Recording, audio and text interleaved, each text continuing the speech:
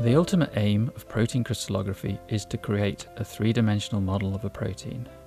No other technique gives you the incredible resolution that crystallography does. Proteins are too small to see through a microscope, but with crystallography you can see details at the atomic level.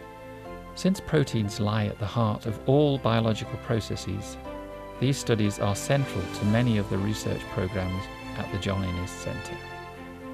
I've been using the technique of protein crystallography for 30 years now, but I'm still excited by the prospect of seeing a new protein structure for the first time.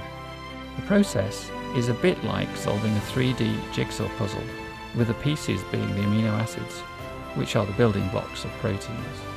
When a scientist comes to us with a protein that they wish to know the structure of, we offer advice, training, and assistance throughout the whole process. The first step is to grow crystals of the purified protein, which is often the biggest hurdle we may have to overcome. It may take many attempts to get suitable crystals. Fortunately, we have robots to help us. Once we have good crystals, we send them to a national facility called the Diamond Light Source near Oxford. Diamond is a particle accelerator called a synchrotron. It has a ring half a kilometre in circumference around which electrons travel at close to light speed.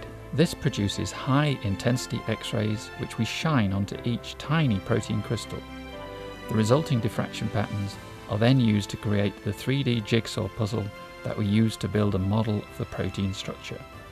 The experiments are performed using robots and, incredibly, we can operate these remotely from the John Innes Centre.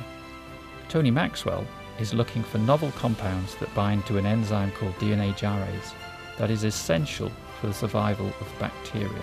We support Tony Maxwell and many other scientists within the John Innes Centre by delivering a structural biology service, providing detailed 3D representations of important biological molecules.